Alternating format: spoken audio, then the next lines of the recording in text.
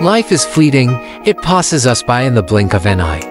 Every moment we spend in negativity or holding onto grudges is a moment we could have spent living our lives to the fullest.